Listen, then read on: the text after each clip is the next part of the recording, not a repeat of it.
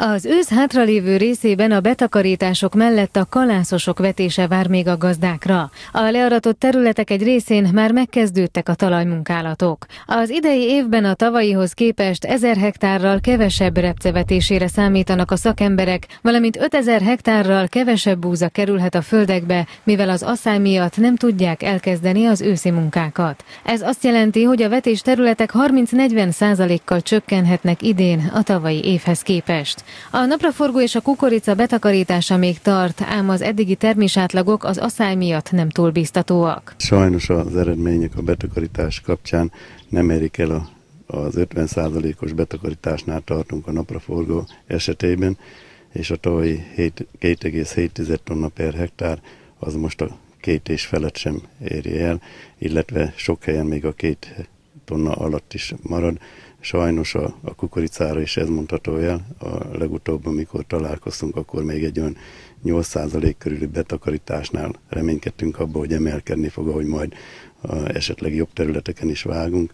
Ez most egy olyan 3,2 tonna hektáronként.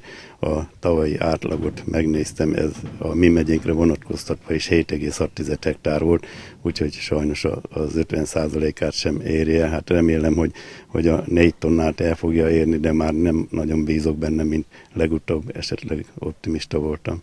A gyulatanyai bemutatón a vidékfejlesztési program pályázati lehetőségeiről is szóltak a szakemberek. Ami legaktuálisabb, és a gazdák nagyon régóta várták már az augusztus 10-én elfogadott vidékfejlesztési programban, ez az agrárkörnyezetgazdálkodási kifizetések, ez egy 5 éves célprogram.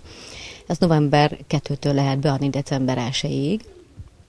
Ez vonatkozik gyümölcsösre, szántóra, gyepre, nádasra és ilyen zonális célprogramokra.